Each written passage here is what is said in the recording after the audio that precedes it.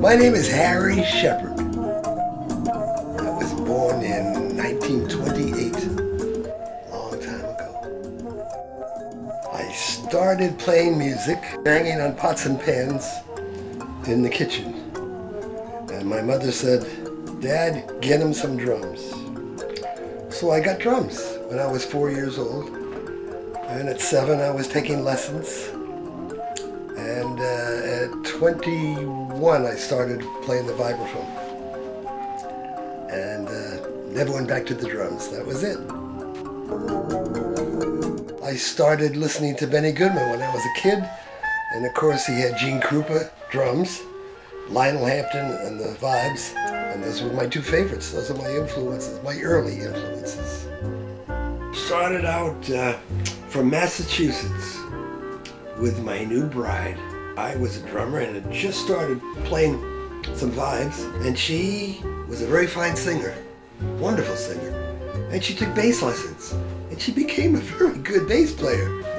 Amazed all of us, absolutely. Well, she had perfect pitch, so it was a lot easier than, than for most people.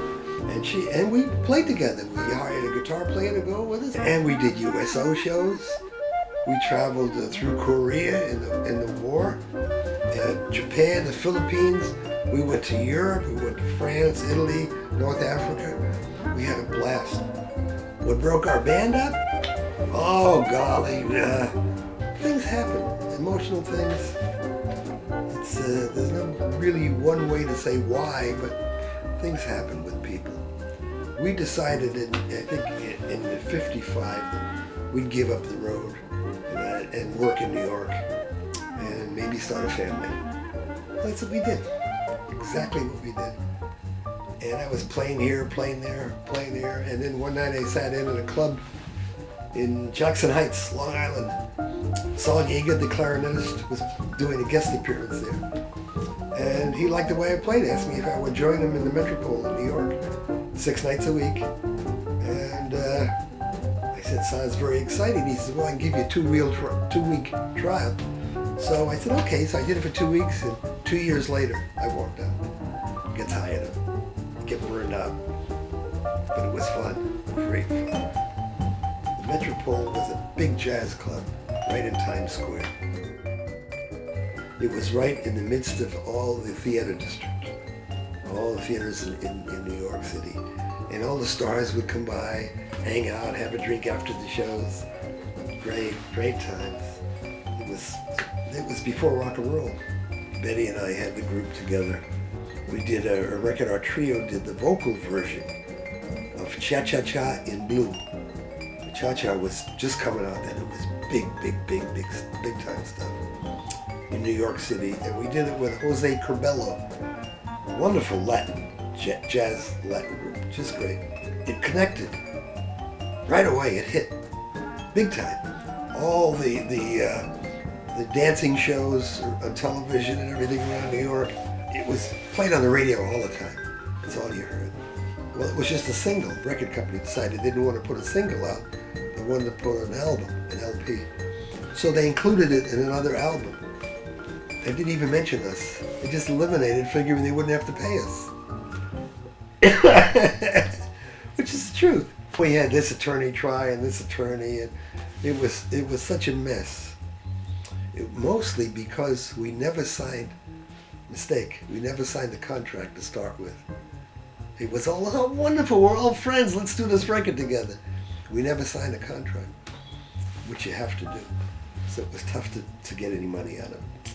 Experience. You learn life's experiences.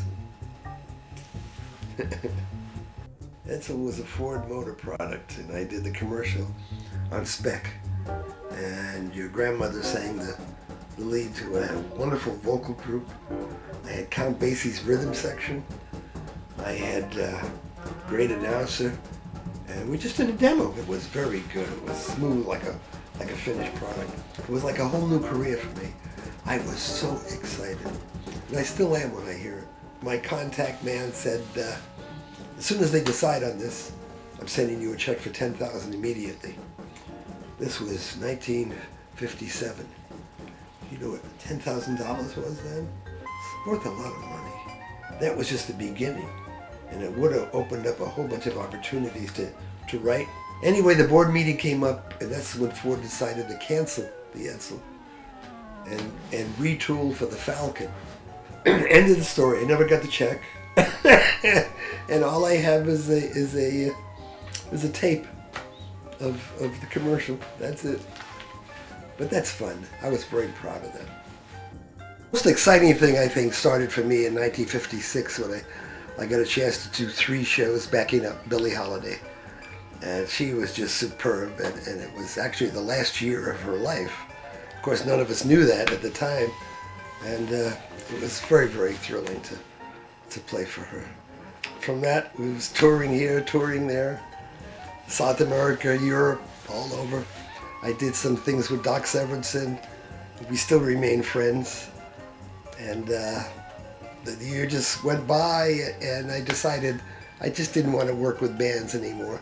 I wanted to work with my own groups so I could express myself my own way. And uh, someone once told me, be true to yourself. So I'm trying. and it seems to be working. I'm very happy. Uh, changing styles, going through different dimensions of, of jazz. And some of it's uh, almost uh, unqualified to categorize. Some of the jazz is, is uh, just kind of spacey. It's different. But I always try to reach an audience somewhere, somehow. I don't try to play so far out that nobody understands what I'm doing. Somebody understands what I'm doing somewhere. I'm not really a well-educated. I'm, I'm streetwise streetwise jazz musician. So I have never had the qualifications to teach, although a lot of people come to me to, to teach them. And I simply tell them that uh, I don't do it. Any questions you want to ask, I'll be happy to answer. But uh, I just enjoy playing. I play eight nights a week, it's a good life. At 78, to be playing eight nights a week is wonderful. I can remember the years and the places just a lot of lot of wonderful people throughout the years. Wonderful. A lot of, I was blessed by knowing a lot of great people, having a lot of love, a lot of uh, camaraderie. It's great. Oh, there are a lot of stories, a lot of funny stories. In Basin Street East in New York, we went in to see Pops Louis Armstrong.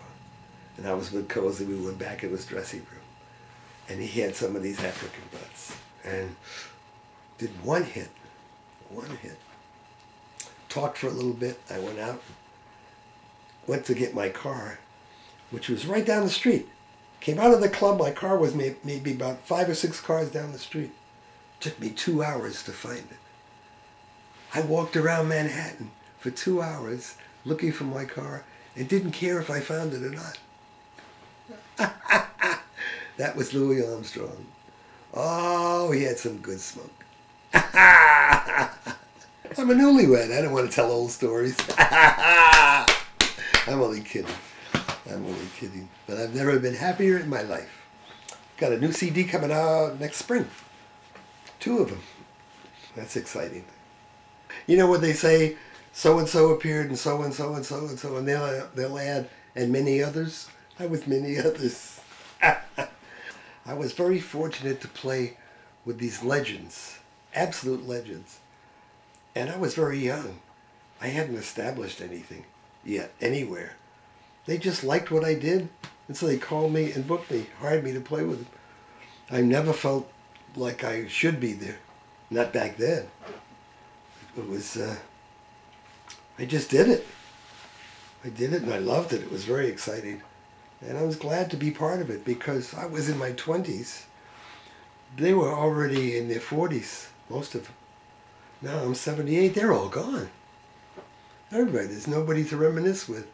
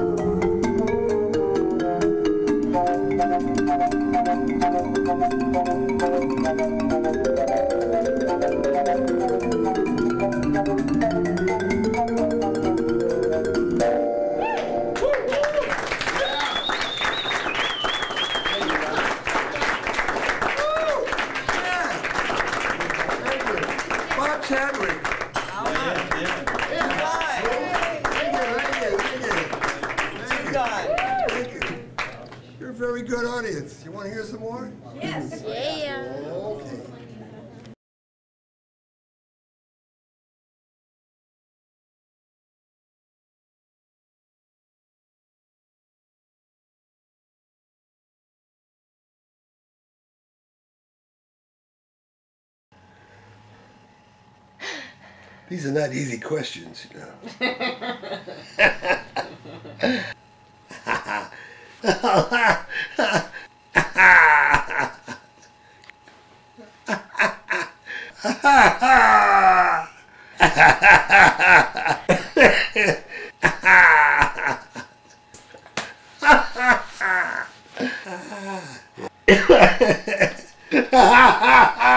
She's terrific.